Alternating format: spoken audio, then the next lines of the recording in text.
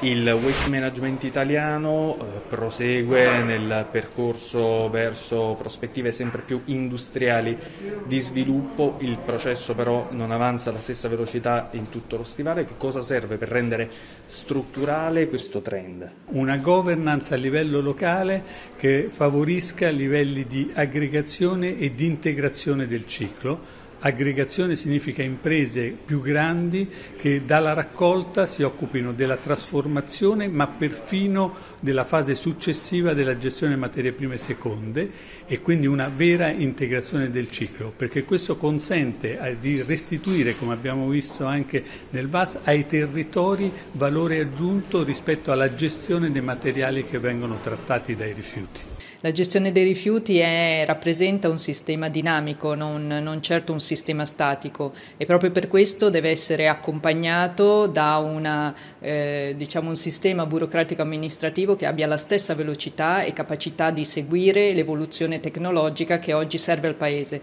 Serve al Paese non solo per risolvere i problemi di gestione rifiuti che necessita di tutti i tipi di impianto eh, che ci sono o che ci potranno essere, ma serve anche perché oggi il sistema di gestione rifiuti rifiuti serve anche da approvvigionamento per tutto il sistema di produzione, grazie agli end of waste, le materie prime e seconde, che garantiscono al nostro sistema produttivo una eh, resilienza maggiore rispetto a quello che può essere il mercato e quindi l'import di materie prime da paesi che non sempre hanno poi un equilibrio politico tale da garantirci l'approvvigionamento sicuro. Il settore del waste management cresce, si integra, le grandi aziende acquisiscono attività lungo la filiera, come si fa a fare in modo che questo trend di sviluppo non vada poi a limitare la concorrenza sul mercato? Il nostro è un settore che ha superato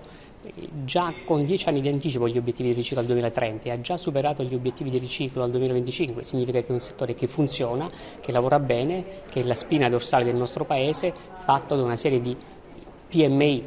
Chiaro che eh, l'estensione eh, di alcune attività sulla nostra filiera a nostro avviso va, visto, va fatto in modo che, insomma, che, i principi di concorrenza e di libero mercato vengano, vengano tutelati e rispettati. Noi l'abbiamo sottolineato più volte, per noi le indicazioni che l'antitrust ha dato a marzo eh, sul tema della legge di concorrenza sono fondamentali e dovrebbero essere centrali e quindi dovrebbero riprese da, essere riprese dal governo all'interno della legge sulla concorrenza che si appresta a varare.